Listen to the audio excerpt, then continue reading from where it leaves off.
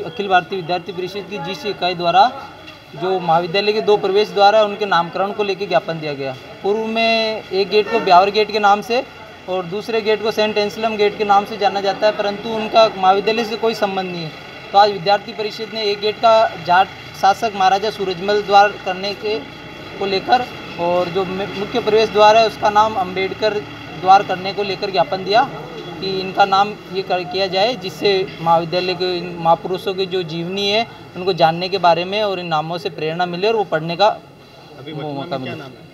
अभी जो वर्तमान में इनका एक गेट को ब्यावर गेट के नाम से जाना जाता है और जो दूसरा वाला गेट है उसे सेंट एंसलम के नाम से जाना जाता है जबकि इनका महाविद्यालय से कोई संबंध नहीं है दोनों चीज़ नामों का।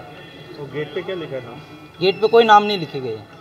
तो किसी प्रकार के कोई नाम नहीं लिखे गए हैं तो हमने आज ज्ञापन के माध्यम से प्राचार्य महोदय को अवगत कराया कि आप वहाँ तुरंत जल्द प्रभाव से लेखांकन करवाए नामों का। महाराजा सूरजमल नाम द्वार और अंबेडकर द्वार का नाम। आपका नाम विकास गोरा इकाई अध्यक्ष एबीवीपी